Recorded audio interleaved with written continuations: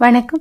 இந்த பதிவில் வீட்டிற்குள் தெய்வ சக்தியை ஆகர்ஷிக்க அழைக்க ஒரு எளிய வழிமுறையை தெரிஞ்சுக்கலாம். முதலாவதாக வீட்டிற்கு வெளியே வீட்டின் நான்கு புறங்களிலும் தர்பை புல்லை எடுத்து அதில் பச்சை கற்பூரத்தை தடவி நான்கு பக்கங்களிலும் போட வேண்டும். வீட்டிற்கு வெளியே போட வாய்ப்பு இல்லை என்றால் வீட்டிற்கு உள்ளே நான்கு பக்கங்களிலும் போட்டு வைக்கலாம். இரண்டாவதாக தர்பை புல்லை பச்சை கற்பூரம் தடவி சின்ன சின்ன துண்டாக நறுக்கி அதை தூபம் போட வேண்டும். அதிலிருந்து வரும் புகையை வீடு முழுக்க பரவும்படி செய்ய வேண்டும். தர்பை புல்லுக்கும் பச்சை கற்பூரத்திற்கும் தெய்வ சக்திகளை வீட்டிற்குள் அழைக்கும் தன்மையும் ஆற்றலும் உண்டு. இன்னும் பல தெளிவுகளுடன் மீண்டும் சந்திக்கிறேன். வணக்கம்.